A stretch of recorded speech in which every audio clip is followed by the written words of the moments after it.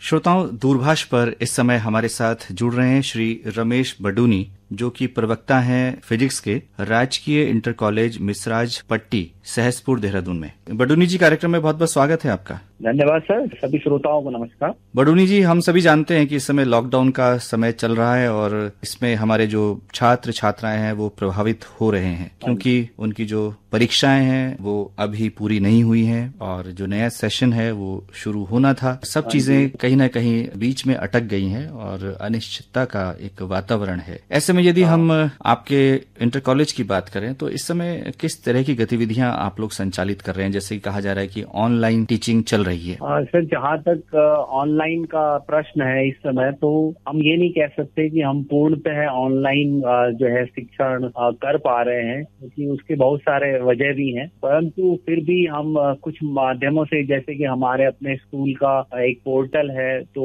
Website है तो वहाँ पर हम क्लास वाइज होमवर्क वहाँ पर बच्चों को देते हैं, वहीं से कुछ फीडबैक भी ले रहे हैं। फिर कुछ व्हाट्सएप ग्रुप भी हैं व्हाट्सएप ग्रुप पर भी हम बच्चों को कुछ काम दे रहे हैं, बच्चों के पेरेंट्स के साथ हमने कुछ शेयरिंग कर रहे हैं। तो इस तरह से कुछ थोड़ा हद तक हम कर पा रहे हैं, लेकिन हम ये वन वे हो रहा है कि हमारी तरफ़ से वर्कलोड बच्चों पर जा रहा है, लेकिन वहाँ से अभी तक हमें रिस्पॉन्स के लिए जो है बहुत कम चीज़ें मिल पा रही हैं, जिसका कारण मेन है कि वहाँ पर बच्चों के पास कनेक्टिविटी की प्रॉब्लम भी है। वो कहते हैं, सर, हमने देखा तो था, लेकिन फिर नेट चला गया, उनके पास डिवाइसेस नहीं है। तो ये बड़े इशू हैं जो आज की डेट में हमें देखने होंगे। रिसोर्सेज की एक बड़ी कमी है, जिसकी वजह से ये नहीं हो पा रहा है। और भी इसके अन्य कारण भी है। कि हम अधिक से अधिक बच्चों तक नहीं पहुँच पा रहे जी तो आपका जो क्षेत्र है इसमें ग्रामीण क्षेत्र से बच्चे आते हैं? हाँ एक ग्रामीण दुर्गम स्कूल है ये। तो यहाँ पर बच्चे ऐसी जगहों से भी आते हैं कि वो आठ आठ नौ नौ किलोमीटर पैदल चलते हैं। फिर वो स्कूल पहुँचते हैं तो उनको बड़ी दिक्कत पहले ही उन्हें दिक्कत थी और अब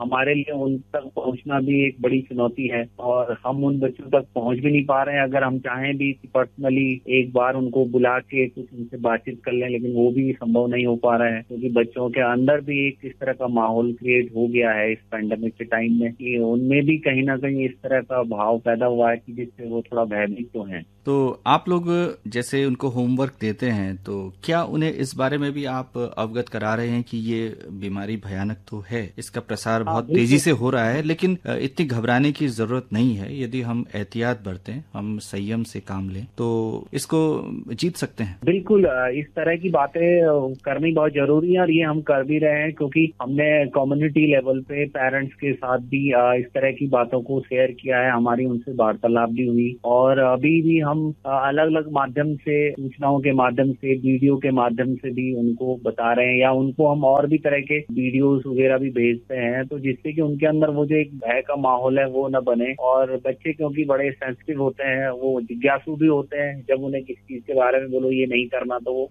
उसमें ज़्यादा उनका इंटरेस्ट हो जाता है कि वो उसको ज़रूर करेंगे। तो उस समय बहुत ज़रूरी है कि पेरेंट्स और जो कम्युनिटी है, उसका भी हमें सहायता मिले और टीचर्स भी हम सब आपस में समय समय पे बच्चों को काउंसलिंग करते रहे। मेन चीज़ यहाँ पर ये होगी कि हमें उनसे बातचीत करते रहना होगा और उनसे जब हम टच में रहेंगे तो उनका कॉन्फिडेंस लेवल ऊपर आएगा। पेरेंट्स को घर में ऐसा माहौल बनाना होगा कि वो बच्चों के आसपास जब रहते हैं तो उनके साथ बड़ी सावधानी से बातचीत करें। उनको इस तरह की चीज़ों के बारे में डिटेल से बताएँ, खुल के बताएँ और उनको आश्वासन ही नहीं, बल्कि उन्हें सुरक्षा से संबंधित जो भी वो कुछ कर सकते हैं, उनकी चिंताओं के विषय में ईमानदारी से उनको बताया जाए। और कोई ये बड़ी बीमारी नहीं है। सिंपल अगर उनको यही बताया जाए, एक आम बुखार, खांसी जुकाम है और इससे हम रिकवर कर सकते हैं तो वो समझ जाएँगे और समझ भी रहे जिस तरह का मतलब ये डिपेंड करता है कि हम उन्हें किस तरह से उनके साथ संवाद करते हैं। क्योंकि जो मुश्किल है वो आसानी से दूर तभी होगी जब हमारा जो सिस्टम है वो सपोर्ट करे, यानी कम्युनिटी भी टीचर्स भी, और हमारे जो लीडर्स हैं, वो भी समय समय से जागरूकता फैलाते रहें, ये हो सकता है। बडूनी साहब, हमने सुना कि विभिन्न जो महाविद्यालय हैं वो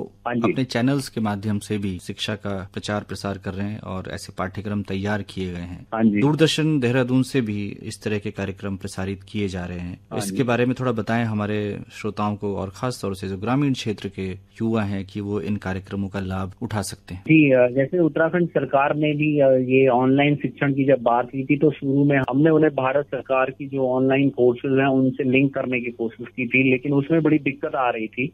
क्योंकि बच्चों के पास कनेक्टिविटी का प्रॉब्लम था तो फिर हमने जो है ये ये सोचा कि क्यों ना जो है कुछ इस तरह के टीवी में प्रोग्राम बनाए जाए ट्यूटोरियल्स बनाए जाए और उनको बच्चों को ब्रॉडकास्ट किया जाए। तो फिर उत्तराखंड सरकार ने जो है हमारे जो डीडी दूरदर्शन उत्तराखंड है, उसके माध्यम से ज्ञानदीप एक चैनल जो है उसकी शुरुआत की। उसमें लगभग दो घंटा लगातार हमारा प्रोग्राम आता है। उसमें क्लास नाइन्थ और ट्वेल्थ और टेंथ के बच्चों के लिए डेली जो है सेशन होते हैं और इंग्लिश फिजिक्स केमिस्ट्री बायोलॉजी और मैथ इनके लगातार उसमें कोर्स चल रहे हैं। अब अन्य सब्जेक्ट पर भी होगा लेकिन अभी तीस तारीख तक के जो है हमारे जितने भी वीडियो लेसन आ रहे हैं आ, वो कोशिश ये हो रही है कि हर बच्चे को जो सुदूर बच्चे ग्रामीण क्षेत्रों में है को भी शेड्यूल भेजा गया और वो देख रहे हैं। तो अभी हमारे पास लगभग चालीस पचास हज़ार बच्चे जो है डेली लाभान्वित हो रहे हैं और इन चैनल पर वो जो है देख रहे हैं। बडूनी साहब आप फिजिक्स पढ़ाते हैं और यदि हम कोविड हाँ नाइन्टीन की बात करें तो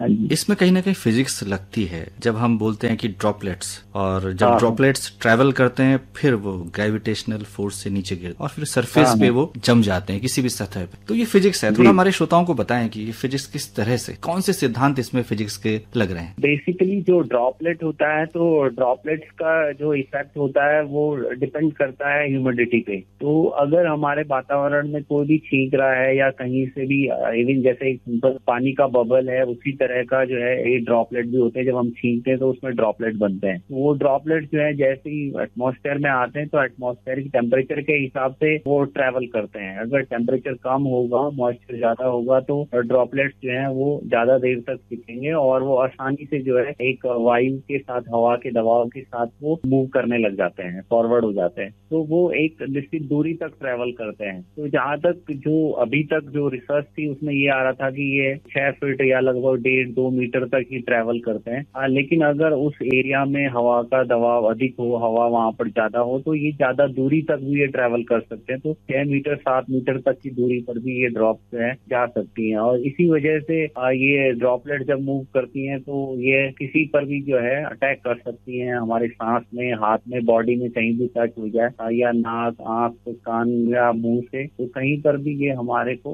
इन्फेक्ट कर सकती है। तो बेसिकली ये ड्रॉपलेट खत्म हो सकती है। अगर वातावरण की ह्यूमिडिटी जो है वहाँ पर कम से कम हो तो ये जल्दी खत्म हो सकती है। लेकिन आजकल जैसे मौसम है चेंज हो जा रहा कभी एकदम गर्मी हो जा रही तो कभी एकदम मौसम थोड़ा ठीक नॉर्मल है तो उससे खतरा तो बना ही हुआ है और अभी ये लॉन्ग टाइम तक जाएगा अगर मौसम इसी तरह से चेंज होगा। बडूनी साहब यदि हम एयर ट्रैवल की बात करें हवाई जहाज़ के अंदर जिस तरह का हवा हाँ। का दबाव होता है तो वहाँ पे संक्रमण की स्थिति ज़्यादा हो सकती है? हाँ बिल्कुल हो सकती है, बिल्कुल हो सकती है, क्योंकि वो तो डेफिनेटली एक जो है बर्नौली प्रिंसिपल है, वो जो है एक्सेस प्रेशर पर ही वहाँ पर जो है काम होता है और एक एक टेम्परेचर और प्रेशर जो है वहाँ पे मेंटेन किया जाता है। यानी ये कह लीजिए कि एक प्रेशर मेंटेन करने के लिए जो है एक फ़र्स्ट के हिसाब से जो है हम लिफ्ट करते हैं। तो उस समय जो है, उस पर्टिकुलर जोन में ज़्यादा से ज़्यादा ड्रॉपलेट जो है, वो एक जगह कंडेंस हो सकती है तो उससे इन्फेक्शन के चांस बढ़ सकते हैं। तो उसमें वही है कि ज़्यादा से ज़्यादा सैनिटाइजेशन हो तो हम ज़्यादा से ज़्यादा सैनिटाइजेशन करेंगे तो ड्रॉपलेट्स नहीं बनेंगे।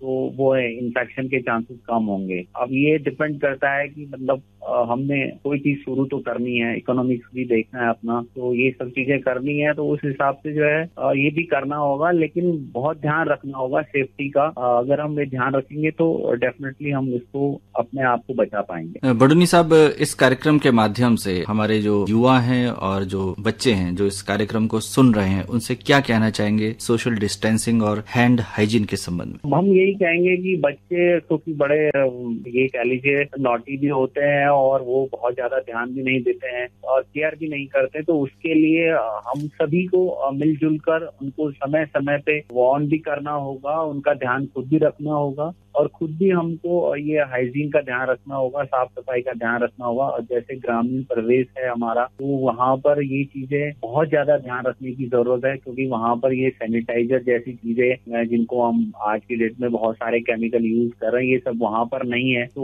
वहाँ पर एक साबुनी है वहाँ पे ज़्यादा से ज़्यादा कहीं पर कुछ होगा तो वो भी अगर मिल पाए उनको समय पे। पर साबुन उनके पास होगा तो वो बार बार अपने दिन में तीन चार बार हाथ धोए, या जहाँ जहाँ वो जाते हैं, कहीं कहीं पर भी तो अपना मुँह ढक के रखें। ऐसे लोगों के जिनके संपर्क में आते जो अनजान है, उनके पहचान के नहीं है या उस एरिया में कोई नया आए तो उनसे पूरी तरह से बचें। कोशिश करें कि जब भी उनसे मिले या उनके आसपास जाए तो उसके बाद अपने हाथ मुँह ढंग से धोएँ। घर के अंदर जो है, ऐसे न जाए, आप चप्पल वप्पल बाहर ही उतारें, हो अपने कपड़े उपड़ों को धूप में सुखा दें, वापस बाहर ही उतार दें। तो इस तरह के ध्यान रखने होंगे और ये अगर पेरेंट्स करेंगे तो बच्चे भी डेफिनेटली करेंगे। और टीचर्स का भी ये फ़र्ज़ है वो समय समय पे अपने स्टूडेंट्स को हम सब बताते रहे तो डेफिनेटली वैसे ये पॉपुलराइजेशन तो हुआ है इस चीज़ का, समाज में भी मैसेज गया है। गाँव में भी काफ़ी हम देख रहे हैं डेली की काफ़ी हद तक लोगों ने इस चीज़ को समझ भी लिया है। बट अभी लॉन्ग टर्म में हमें इसको प्लान करने की ज़रूरत है, और अच्छे से प्लान करने की ज़रूरत पड़ेगी। जैसे कि अभी हम देख रहे हैं कि अभी हमारे जो है